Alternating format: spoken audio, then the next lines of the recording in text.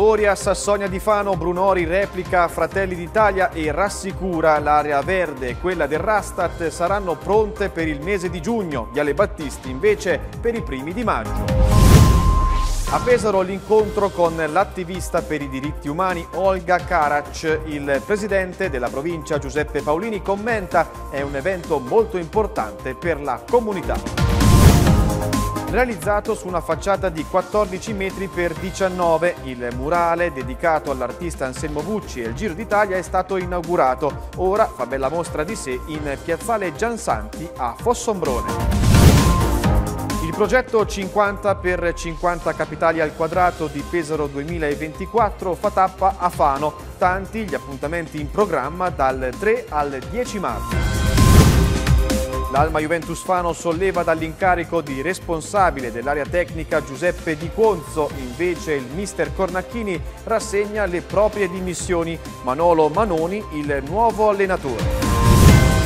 Stasera una nuova puntata di Guarda chi c'è, ospite l'ex ispettore di polizia Susanna Gaudenzi, chiamata la signora delle bambole grazie al suo progetto Le Giuggiole by Susi. Benvenuti cari telespettatori di Fano TV, questa nuova edizione del telegiornale Occhio alla Notizia. Apriamo con l'intervento di riqualificazione sul lungomare Sassonia di Fano. Dopo le preoccupazioni espresse da Fratelli d'Italia, oggi l'assessore Barbara Brunori ha confermato la fine dei lavori per il mese di giugno e dunque per la prossima stagione turistica. Per quanto riguarda l'aggiornamento dei cantieri sul lungomare, ci tengo a precisare che sono sotto controllo da parte dell'amministrazione da sempre. Abbiamo avuto un ritardo che avevo motivato mesi fa rispetto alla qualità dei materiali che si dovevano lavorare. Oggi stiamo lavorando con grande celerità con questa sequenza, perché ricordiamo i cantieri sono due. Uno è il waterfront che si appresta a lavorare sull'area del Rastat, sul cristallo, ma anche di fronte a quelle che sono le attività di ristorazione e bar e l'altro invece quello in Viale Battisti. Allora partiamo proprio dal waterfront. Dopo aver demolito quello che era appunto la vecchia gradinata, adesso stiamo lavorando sulla nuova, all'interno della quale verranno realizzati dei vani tecnici e vani di servizio, nonché una vasca di laminazione che sarà propedeutica a tutto il discorso della fontana che verrà realizzata invece nell'area davanti al cristallo. Quindi non appena verrà appunto realizzato tutto questo vano, andremo a ricostruire per poi lavorare su quelle che sono le nuove pavimentazioni e le rifiniture. Contemporaneamente, adesso nei prossimi giorni, quindi da qui a brevissimo, eh, andremo a iniziare i lavori anche proprio sull'area del cristallo, dove appunto verrà smantellata la pavimentazione, realizzata la nuova fontana con giochi d'acqua e di luce, per cui la vasca è invece inserita sotto la gradonata nuova in prossimità del Rastat e la nuova area bosco. Tutto questo naturalmente dovrà essere rigorosamente pronto per giugno per far sì che la città affronti al meglio la stagione turistica. Una volta che vengono fatti i sottoservizi poi lavorare sopra non sarà assolutamente difficile per quanto riguarda invece la sezione davanti, le ristorazioni e i bar, quindi di congiungimento a questo snodo con Viale Battisti, eh, in quel caso abbiamo avuto delle nuove richieste da parte della cantieristica navale per il passaggio, ricordiamo, dei, delle grandi barche, imbarcazioni, quali catamarani, che hanno delle misure molto importanti. E alla luce di queste migliorie che ci sono pervenute in questi giorni, proprio questa notte faremo una sperimentazione per poi andare a definire eh, quello che sarà sicuramente l'intervento con delle leggere modifiche e condividerlo con gli esercenti che chiameremo qui in comune proprio la prossima settimana per condividere insieme la strategia, senza avere nessun tipo di sorprese proprio per arrivare ad un obiettivo comune. Oltre questo abbiamo in campo quello che è il cantiere di Viale Battisti, invece sicuramente molto più avanzato, come vedete abbiamo smantellato tutta la pavimentazione sul controviale lato Marotta e entro metà fine marzo termineremo anche la pavimentazione adiacente al cavalcavia. Una volta realizzata questa scenderemo per continuare a lavorare sul controviale dove è prevista una nuova pavimentazione di ceramica, ci sarà anche la realizzazione di una pista ciclabile invece che verrà fatta in asfalto, dei nuovi arredi, l'illuminazione avremo sicuramente dei punti luce come quelli che sono stati realizzati dall'altra parte del controviale, verranno poi inseriti degli arredi, rifaremo un nuovo manto di asfalto ulteriore perché quello che avete visto realizzato adesso è una prima soletta, binder così chiamato e successivamente appunto lo andremo invece a stabilizzare con una portata più importante importante e stabile perché il carico di auto, essendo a doppio senso di transito, necessita naturalmente di un sostegno importante. Ecco che per fine eh, aprile, primi di maggio, Viale Battisti sarà pronto. E ora una notizia che in tanti aspettavano da tempo. Sabato 2 marzo, alle ore 10, aprirà il nuovo centro natatorio di Fano. Maggiori dettagli verranno forniti domani mattina durante una conferenza stampa convocata dal Comune di Fano. Tappa a Pesaro per Olga Karac, l'attivista bielorussa per i diritti umani, recentemente insignita per il premio Langer 2023. Ha sostenuto oggi un incontro pubblico nel palazzo della provincia di Pesaro e Urbino. Avere Olga qui, che ieri sera oltretutto era ha cenato a casa mia e abbiamo scambiato alcune parole con mia moglie che è rimasta molto colpita anche dalla giovane età di Olga e da tutto quello che ha fatto.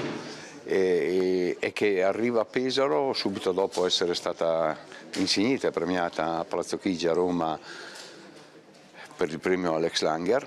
Alex Langer eh, che a Isola del Piano comunque ha lasciato più di un segno perché io mi ricordo che quando noi eravamo eh, Montebello insieme a Gino Girolomoni, con la cooperativa Girolomoni, Alex molte volte molti insieme a altri amici è venuto a trovarci a Isola del Piano, abbiamo passato dei momenti fantastici e interessanti.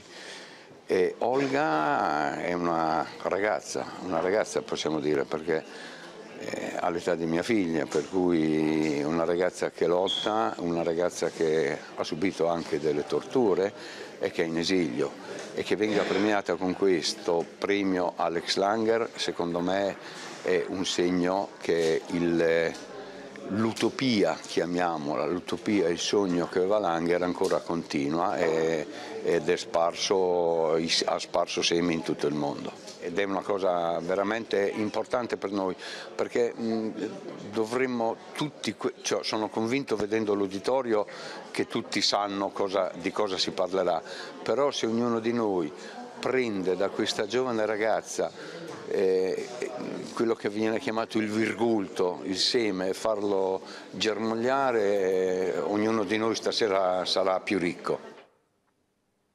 Dal 3 al 10 marzo il Comune di Fano sarà protagonista di 50 per 50 capitali al quadrato, il progetto simbolo di Pesaro Capitale Italiana della Cultura, servizio di Marco Lonigro. Si chiama naturalmente Culturali ed è il titolo del ricco programma di appuntamenti per la settimana di Fano in 50x50 capitali al quadrato, il progetto simbolo di Pesaro 2024 che vede i 50 comuni della provincia di Pesaro Urbino a turno capitale per una settimana lungo il 2024. 50x50 sta funzionando benissimo, i comuni stanno facendo tutti dei programmi veramente stimolanti, innovativi eh, che coinvolgono la cittadinanza, che coinvolgono eh, le realtà culturali, che coinvolgono anche il pubblico che viene, che viene da fuori. In questo quadro è chiaro che eh, Fano non è un comune come gli altri, nel senso che è la seconda eh, città della, della, provincia, la terza delle Marche, soprattutto è stata anche l'ultima finalista regionale prima della vittoria di Pesaro nelle competizioni degli anni precedenti grande opportunità per Fano, come avete accolto il progetto 50x50? L'abbiamo accolto benissimo, è una grande occasione, ringraziamo Pesaro perché eh, si apre un intero territorio e quindi cerca di rispondere degnamente. Abbiamo fatto in modo di eh, avere eventi e iniziative che parlassero di quello che siamo da sempre ma anche di quello che vorremmo essere perché questo deve essere capitale della cultura, l'occasione per rilanciare per far partire nuovi progetti. Oltre 60 gli appuntamenti in calendario per un programma ricchissimo che spazia tra arte, ambiente, archeologia, ma anche presentazioni editoriali e laboratori per grandi e bambini. Ci aspetteranno eh, visite accompagnate alla Fano Romana, potrete vedere le bellezze dei nostri monumenti, ascoltare concerti grazie al coro gospel, grazie all'Orchestra Sinfonica di Rossini, tante conferenze, presentazioni e in più a fine di questa settimana ci sarà il Festival di Economia Circolare che per il primo anno arriva a Fano e sarà il primo primo di una serie di anni. Grazie alla collaborazione con le associazioni, con le imprese, i consorzi, tutta la realtà di Fano e del territorio parla di ambiente. Perché? Perché Fano si basa proprio su questa lezione. Grazie a Vitruvio che duemila anni fa ci ha fatto capire che cultura e ambiente devono assolutamente essere collegati per uno sviluppo ottimale e sociale e questo è anche il focus di Pesaro Capitale che si chiama la natura della cultura, quindi più di così dal 4 all'11 marzo a Fano ci sarà tantissimo, vi potete eh, stabilire nella nostra bellissima città perché non avrete un minuto libero. Interessanti gli appuntamenti del prossimo 8 marzo, eventi che ruotano attorno alla marineria, un tema caro alla città di Fano. Due appuntamenti che hanno alle spalle una ricerca di oltre un anno e mezzo, partendo dal libro marinaresco, romanzo marinaresco di eh, Giulio eh, Grimaldi, La Maria risorta. Quindi alle 18.30 dell'8 marzo al foyer del Teatro della Fortuna presenteremo appunto questo, invece la sera alle ore 21 ci sarà uno spettacolo eh, curato eh, dal ehm, da Carlo Simoni accompagnato dal coro polifonico malatestiano di una rivisitazione di questa eh, storia della Maria risorta, della dimensione del, del, del mare e soprattutto eh, nel protagonismo delle donne della marineria che hanno sorretto in modo diciamo così silenzioso e molto spesso non troppo raccontate eh, la comunità del porto, la comunità marinara e intere diciamo, generazioni di figli cresciuti da sole. Quindi l'8 marzo vi aspettiamo a Fano. Il 13 marzo alla Memo di Fano prenderà il via Eutopia più saggi con i classici, la rassegna dedicata al dialogo tra antichità e contemporaneità. Vediamo. Settima edizione è un traguardo importante per una delle manifestazioni a cui sono più affezionato perché Utopia nasce da un incontro molto felice tra il sistema bibliotecario del Comune di Fano e il liceo Nolfi Apolloni e in particolare con gli insegnanti e gli studenti e gli ex studenti, sottolineo, di questo liceo che nel corso di questi anni sono stati veramente cuore e anima di questa manifestazione che mettendo ancora una volta anche in questa edizione in dialogo antichità e contemporaneità ridà voce ai classici eh, del, del mondo antico e ovviamente tre appuntamenti anche quest'anno proprio per poter mettere a disposizione della nostra città un'offerta che è veramente di altissimo profilo. Gli appuntamenti saranno il 13 e il 26 di marzo, ultimo appuntamento il 4 aprile, sempre alla Mediateca Montanari. Eh, noi siamo anche un liceo classico e avvertiamo ecco, il piacere ma anche il dovere nella città e nel territorio di essere un punto di riferimento per il dibattito, la riflessione sui temi della, della cultura classica. Per noi oltre che una, così, un piacere, ripeto, un impegno di tipo anche civile, oltre che culturale e scolastico, sul quale vogliamo continuare ad investire anche nel futuro. Quest'anno abbiamo scelto eh, la tecnica e lo sguardo che gli antichi hanno avuto sulla tecnica, un argomento quindi che, si, eh, che dialoga tantissimo con la nostra contemporaneità. Cominceremo con una carrellata sulle macchine nel mondo antico, dalle civiltà mesopotamiche alla Roma imperiale, verrà ospite Giovanni di Pasquale e, e mm, appunto sarà un'occasione importante per riflettere sulla, sulla, macchina e sul ruolo che gli antichi attribuivano alle macchine. Poi eh, il secondo appuntamento sarà tutto al femminile, eh, sarà dedicato a, questo libro Le tessitrici tecnologia dell'informatica con Loretta Minutilli che ci parlerà appunto della eh, mitologia eh, che eh, eh così viene a, ad essere eh, presente nelle vicende di eh, scienziate che si sono appunto impegnate nel, nel, nel mondo dell'informatica, della scienza e quanto gli archetipi antichi legati appunto alla tessitura, alla figura di Atena, alla figura della dea appunto della tecnologia sono rimaste, permangono vive nel, nel mondo della scienza contemporanea. Infine l'ultimo appuntamento sarà eh, quello dedicato eh, a Lucrezio e in particolare allo sguardo che Lucrezio ha avuto sulla tecnica e sull'evoluzione dell'umanità dal, mm, dire, da un'epoca primordiale fino ai giorni eh, appunto del, dell'epoca di Lucrezio, con Ivano Dionigi. Ieri pomeriggio a Fossombrone è stato inaugurato il maxi murale dedicato al pittore di fama internazionale Anselmo Bucci e al Giro d'Italia.